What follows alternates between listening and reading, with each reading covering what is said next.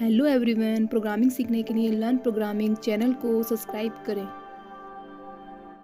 Hello everyone आज के इस वीडियो के अंदर हम देखेंगे सी प्रोग्रामिंग के अंदर कि नंबर पॉजिटिव है नेगेटिव है या ज़ीरो है। इसको चेक करेंगे तो उसके लिए हम प्रोग्राम लिखते हैं। तो उसके लिए सबसे पहले हमने हेडर फ़ाइल इंक्लूड की है और मेन फ़ंक्शन से हमारे प्रोग्राम को स्टार्ट किया है जिसका कोई रिटर्न टाइप नहीं है।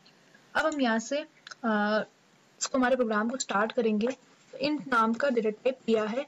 उसके अंदर ए नाम का वेरिएबल डिक्लेयर किया है। Then C L R C R function का यूज़ किया। और देन प्रिंटर फ़ंक्शन का यूज़ किया है कि ए की वैल्यू को, यहाँ पे हम ए की वैल्यू के लिए मैसेज प्रिंट करवाएँगे। उसके लिए एंटर नम मैसेज प्रिंट करवाने के लिए हमने प्रिंटर फ़ंक्शन का यूज़ किया। देन स्कैनफ फ़ंक्शन का यूज़ किया है उसकी वैल्यू को स्टोर करवाने के लिए। तो परसेंट डी और एंड ऑपरेटर यूज़ करके उसके एड्रेस को हमने स्टोर करवाया है। देन इसको वापस हमने क्लोज किया। अब हम इफ़ स्टेटमेंट का यूज़ करेंगे।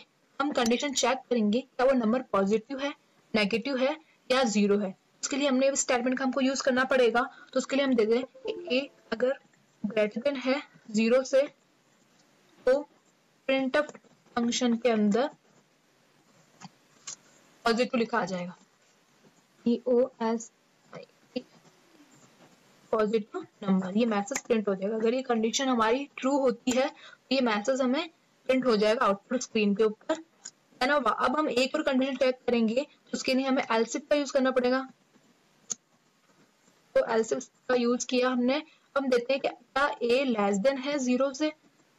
अगर ये कंडीशन ट्रू होती है तो प्रिंट स्टेटमेंट में लिखा हुआ जो स्टेटमेंट है वो प्रिंट हो जाएगा। तो यहाँ पे हम दे देते हैं नेगेटिव नंबर नेगेटिव प्रिंट हो जाएगा। चलिए हमने ये मैसेज प्रिंट करवा दिया।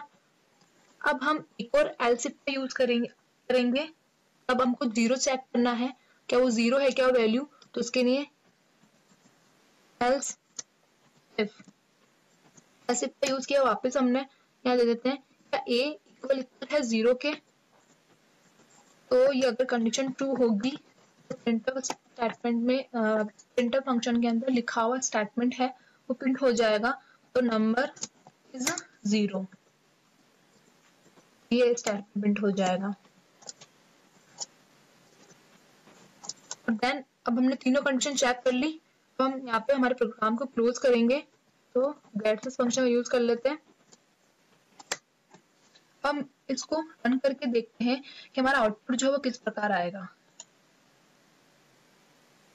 तो हमको पूछ रहा है कि एंटर नम अब मैंने डाला टू तो ये बोल रहा है पॉजिटिव नंबर इसका मतलब हमारी जो कंडीशन थी, वो सही से एग्जीक्यूट हो रही है. अब हम यहाँ पे डालते हैं माइनस में वैल्यू डालते हैं. माइनस वन डाला नेगेटिव नंबर तो ये नेगेटिव नंबर है तो ये हमें सही प्रिंट हो चुका है. अब हम देखते हैं ज़ीरो क्या वो ज़ीरो है क्या? नंबर इज़ ज़ीरो इस प्रकार से आप इफ़ एल्स स्टेटमेंट का यूज़ करके आप कंडीशन को एक से अधिक चेक कर सकते हो. क्या वो नंबर ज़ीरो है? नेगेटिव है वो या पॉजिटिव है तो इस प्रकार आप इस प्रोग्राम को कर सकते हो।